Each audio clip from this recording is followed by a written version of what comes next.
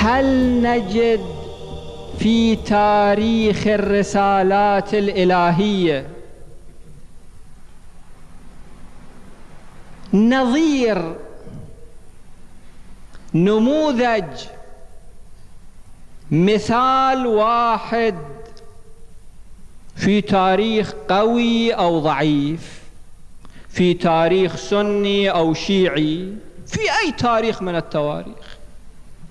هل نجد في تاريخ الرسالات السماوية أن نبيا من الأنبياء أو وصيا من الأوصياء؟ عينه نظام الشورى. أكو نظير. قل ما كنت بدعا من الرسل. هذا النبي فقط سواه صلى الله عليه وآله. آدم من الذي عينه؟ الله. داود من الذي عينه؟ يا داود إنا مو الشعب. إنا جعلناك خليفة في الأرض.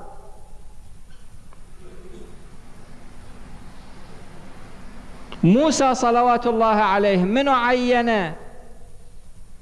هارون منو عينه؟ موسى أجل الناس قال أنا نبيكم. خو هذا تعيين تنصيب من قبل الله. ولكن من هو خليفتي؟ تعالوا خلينا نسوي شورى لتعيين الخليفة. لا تعيين. موسى يخاطب الله سبحانه وتعالى واجعل لي اجعل انت واجعل لي وزيرا من أهلي. هارون أخي أشدد به أزري وأشركه في أمري. كي نسبحك كثيرا ونذكرك كثيرا إنك كنت بنا بصيرا. الله هو الذي عين.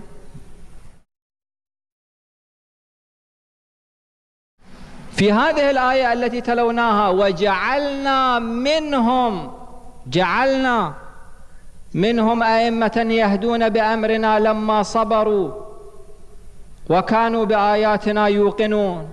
في آية أخرى وجعلناهم أئمة يهدون بأمرنا. موسى أربعين يوم راد يروح للطور. هاي الصلاة اللي نقراها في ذي الحجة. أربعين يوم.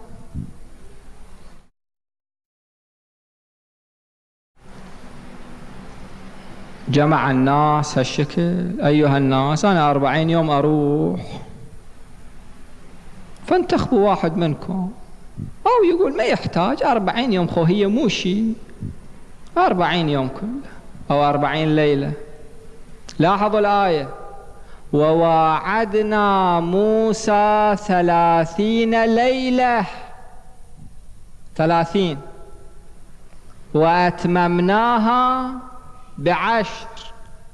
قال للناس أنا أروح ثلاثين يوم أو ثلاثين ليلة. فتم ميقات ربه أربعين ليلة. وقال موسى للناس تعالوا انتخبوا واحد. هالشكل وقال موسى لأخيه هارون اخلفني في قومي وأصلح ولا تتبع سبيل المفسدين. اخلفني. أنت الخليفة.